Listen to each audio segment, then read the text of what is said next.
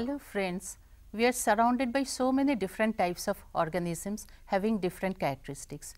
Just think if somebody asks us to identify these organisms seeing their characteristics individually that is one by one, do you think it will be a possible and very easy task? It will be almost impossible, is not it? To solve this problem and to make the study easy and systematic, taxonomists have developed a process. What is that process? They have categorized different types of organisms into different groups. For doing this, they have taken different criteria. For example, depending on their nutrition, organisms have been divided into two broad groups, heterotrophs and autotrophs.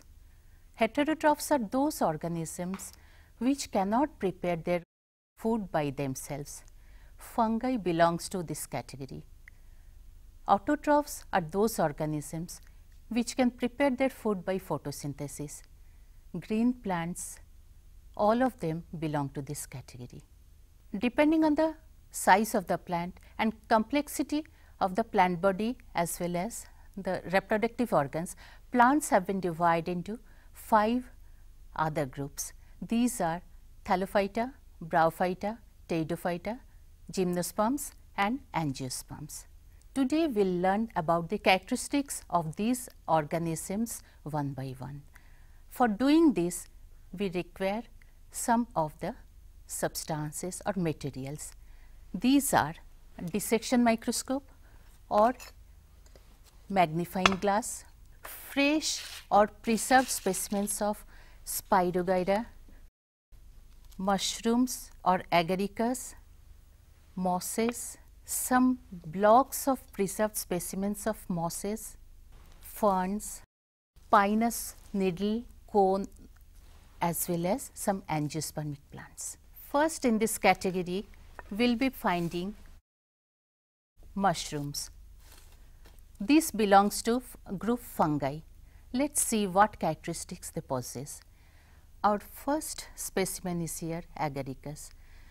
Agaricus is macroscopic and has got a soft and fleshy body. The part of agaricus which is found above the ground is called as fruiting body. So, this is the fruiting body of agaricus and it can be divided into two parts. This lower cylindrical part which is called as stalk or stipe and upper umbrella shaped cap like structure which is called as pileus. In young condition this umbrella shaped structure and the stipe remains attached by a thin membranous part which is called as veil. When it grows up, the this pileus moves upward and the veil ruptures and the veil remains attached in the form of a ring like membranous structure around the stipe which is called as annulus. On the lower side of pileus is present several structures which are called as gills. These gills produce spores.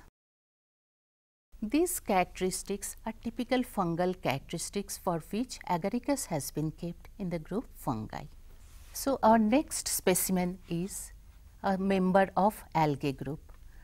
Here we have taken Spirogyra as the specific specimen. Spirogyra can be seen with naked eyes when they are present in large numbers, but uh, to see their detailed structure we have to use microscope.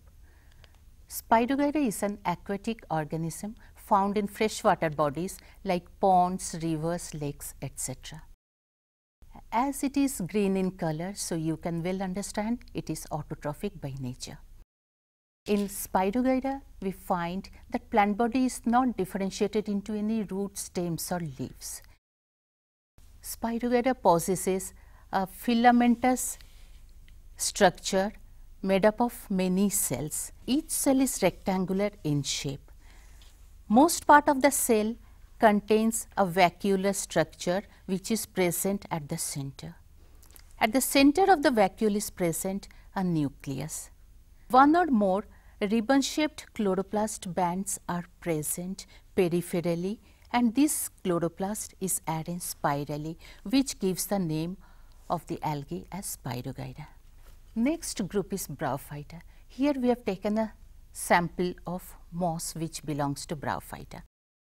You might have seen this specific specimen during rainy season, they grow on your garden on the sides of the wet tubs etc.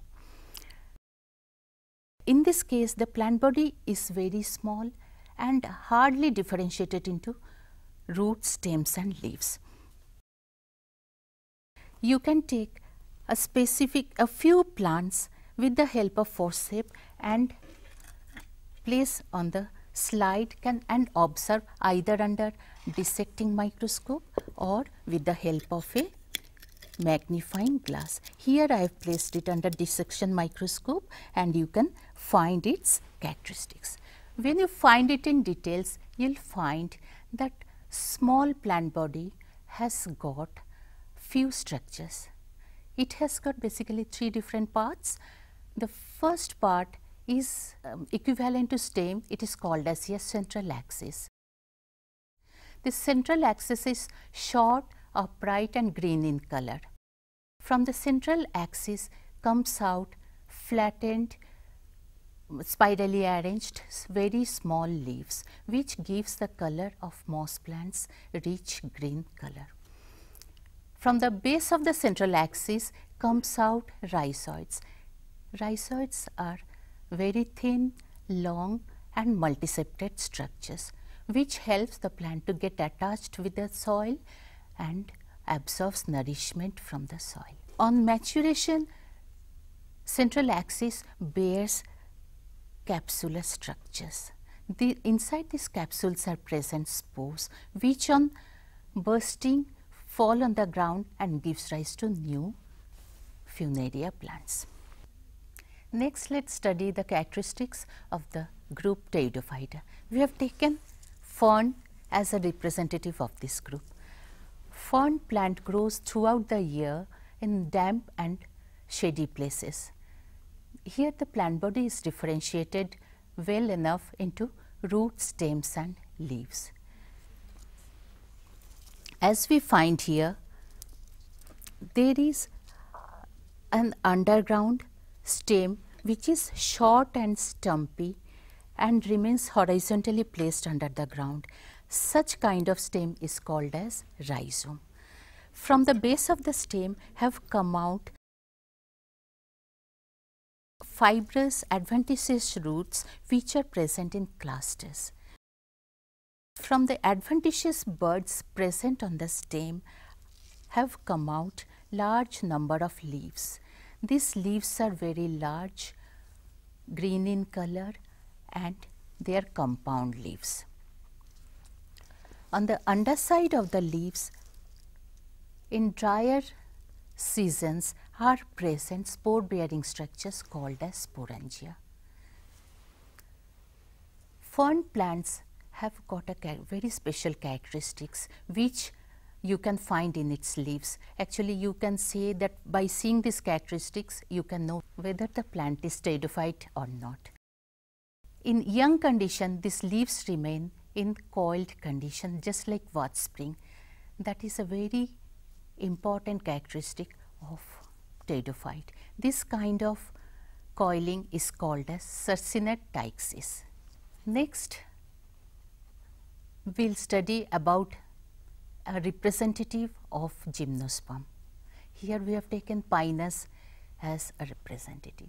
Now see when we talk uh, about Kashmir or any other cold places, what first comes to your mind? Pyramidal shaped long upright plants growing on the hills, isn't it? These plants are pine trees or scientifically called as pine plants, pine trees. So, as I have told you these plants or pine plants they grow on cold climatic conditions. They grow on mountain slopes as well as in any hilly area in upright condition. Pine trees are well differentiated into roots, stems and leaves. Stem is upright, strong, branched structures. Roots are unbranched, single and grows down in the soil. There are two types of leaves, scale leaves as well as foliage leaves. Scale leaves are flattened, short, brown structures, whereas foliage leaves are long, cylindrical, green in color and needle shaped, so commonly called as pinus needles. They arise only on branches. Pine trees bear reproductive organs which are normally called as cones. Male cones are small, soft and arise in bunches, whereas female cone is present individually, it is large and it is hard and woody when mature. Let us come to the next group that is the group of angiosperms. Most of the plants which you see around you, they are angiospermic plants. So, it will uh, proves that angiospermic plants are very advanced and they are ruling this earth. Angiospermic plants are found in almost every kind of habitat. The plant body of angiospermic plants are well differentiated into roots, stems, leaves, flowers and fruits. Here we find these angiospermic plants can be broadly divided into two categories again. They are dicot plants and they are monocot plants. In both the cases, we find several characteristics. Say for example, the stem in case of dicot plants bears very well defined nodes and internodes. Leaves come out only from nodal region. Roots of angiospermic plants may be taproot or that may be adventitious roots. Angiospermic plants bear very well developed bright colored flowers in general and they bear fruits. This fruit bearing characteristic is most important in case of angiospermic plants. Fruits enclose seeds within them. Angiospermic plants have well developed roots. These roots are of two different types. In case of dicot plants, there are taproot system which is single and very strong. Whereas in case of monocot plants, there are adventitious roots which are the, you do not find here a single strong root, but there is a bunch of fibrous roots. So, today we have learnt different types of characteristics of different groups of plants as well as fungi. I hope friends this will help you in categorizing different types of plants which you see around you systematically and easily. Thank you.